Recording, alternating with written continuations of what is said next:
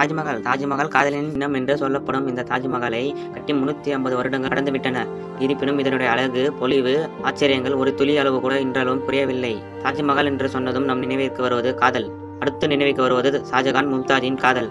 காதலின் சின்னமாக நிற்கும் இந்த தாஜ்மஹால் கட்டியதற்கு காரணம் இந்த மும்தாஜ் மும்தாஜ் ஷாஜகான். எத்தனையாவது மனைவி மும்தாஜ் இறந்த பின்புதான் தாஜ்மஹாலை கட்டத் தொடங்கினார்களா? அப்படி என்றால் தாஜ்மஹாலை கட்டி முடிப்பதற்கு முன் மும்தாஜின் சடலம் எங்கு எப்படி பாதுகாக்கப்பட்டது? இந்த கதையின் ஹீரோ ஷாஜகான் இறந்த சோகமான இறுதி முடிவுதான் என்ன என்பதை பற்றி சில சுவாரஸ்யமான தகவலை பற்றி தெரிந்து கொள்ள வேண்டுமா? அப்படின்னு நீங்க இந்த வீடியோ ஃபுல்லா பாருங்க.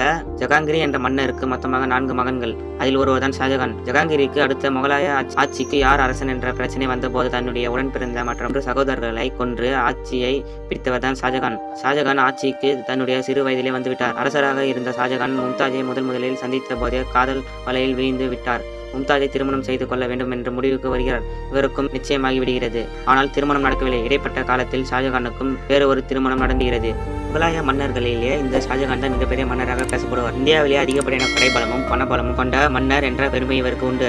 ஆக அரசியல் ரீதியாக மற்ற நாடுகளுக்கு சண்டை வரும்போது தன்னுடைய ஆட்சிக்கு எந்த பிரச்சனையும் வரக்கூடாது என்று போர் செய்யக்கூடிய நாடுகளில் இருக்கும் இளவரசியர்களை திருமணம் செய்து கொண்டு சுமூகமாக சண்டையை முடித்துக் கொள்கிறார். அதனால் ஷாஜகான் அரசியல் ரீதியாக திருமணங்கள் செய்து கொண்டார். மும்தாஜ் ஷாஜகானுக்கு முதல் மனைவி கிடையாது. மும்தாஜை திருமணம் செய்த பின்பு ஷாஜகான் இன்னும் பல திருமணங்கள் செய்து கொண்டார். எத்தனை திருமணங்களை ஷாஜகான் செய்து கொண்டாலும் தன்னுடைய உயிருக்கு உயிரான மனைவியாக காதலியாக நினைப்பது மும்தாஜை மட்டும்தான். ஷாஜகானுக்கும் மும்தாஜுக்கு மொத்தமாக பதினாலு குழந்தைகள் பிறக்கிறது பதினாலாவது குழந்தை பிறக்கும் சமயத்தில் தான் பிரசவ வழியில் மும்தாஜ் அவர்கள் உயிர்விட்டார். பதினாலாவது குழந்தை நல்லபடியாக பிறந்து விட்டது. ஆனால் மும்தாஜ் உயிருடன் இல்லை. பதினாலாவது குழந்தை ஆக்ராவில் பிறக்கவில்லை. ஷாஜகான் ஒரு போருக்காக மத்திய பிரதேசத்தில் இருக்கக்கூடிய பூர்கான்பூர் என்னும் நாட்டிற்கு செல்லும் சமயத்தில் தான் இந்த சம்பவம் நிகழ்கிறது.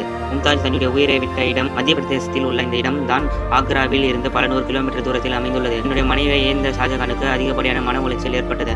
தன்னுடைய வாழ்க்கையில் எல்லாவற்றையும் இழந்ததாக நினைத்து சோகத்திலேயே பல மாதங்கள் தன்னை தனிமைப்படுத்திக் கொண்டார். மும்தாஜ் தன் உயிரை விட ஒப்பிடும்போது அவருக்கு வயது முப்பத்தி ஒன்பது ஷாஜகானுக்கு வயது நாற்பது. மும்தாஜ் தன் உயிரை விட்ட பூர்கான்பூரிலேயே புதைக்கப்படுகிறார் போரிடம் போர் நடந்து கொண்டிருக்கிறது. போரின் இறுதியில் ஷாஜகான் வெற்றியும் அடைகிறார் அதன் பின்பு மஜிகா ஆக்ராவில் தாஜ்மஹாலை கட்ட வேண்டும் என்ற முடிவு எடுக்கிறார் ஷாஜகான். ஆக்ராவில் இருந்து பல கிலோமீட்டர் தூரத்தில் புதைக்கப்பட்டிருக்கும் தன்னுடைய மனைவியின் உடலை எடுத்து ஒரு தங்கப்பெட்டியில் வைத்து ஆக்ராவிற்கு எடுத்து செல்கிறார்கள்.